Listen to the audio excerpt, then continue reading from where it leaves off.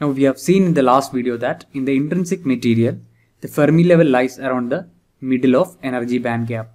In this video, we will combine the information on energy band diagram and the Fermi-Dirac distribution function. So we have seen the energy band, we have a valence band and a conduction band separated by an energy gap. Now we have said that intrinsic material, the Fermi level lies around the middle. So let's say this is our Fermi level EF. Now let's take a look at our distribution function at 0 Kelvin. So we have along x-axis the energy and along y-axis we have the probability of finding an electron or our Fermi-Dirac distribution function. Let's draw the gate lines. So this is our Fermi level EF. At 0 Kelvin we have said that for energies below EF we have a probability of 1 and for energies greater than EF we have a probability of 0. Now let's bring this band diagram and coincide with our Fermi-Dirac distribution function. So it looks something like this. So we have our Fermi level. So what we have done is we have just rotated it and placed it over this diagram to align the Fermi level. Now we can see at 0 Kelvin the distribution function follows our analysis. That is the conduction band is empty. That is there is no probability of finding an electron here because here it is 0 and here we have a completely filled valence band. Okay, this is at 0 Kelvin. Now let's see what happens as temperature increases.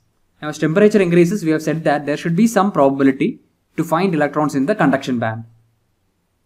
So let's remove the line showing Fermi level at 0 Kelvin and let's draw a Fermi line at a temperature above 0 Kelvin.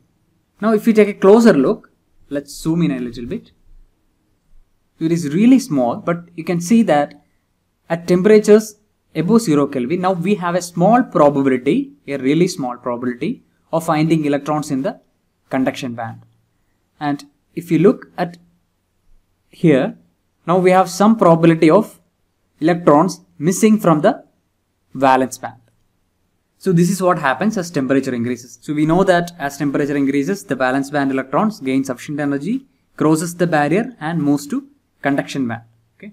Now this Fermi level, it's really important because it acts as a reference level for our discussions. We know that in n-type semiconductor, the number of electrons, free electrons is very much greater than the number of holes.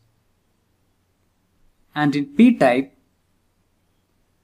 we have number of holes greater than number of free electrons. Now we will see the position of Fermi level in n-type and p-type semiconductor materials.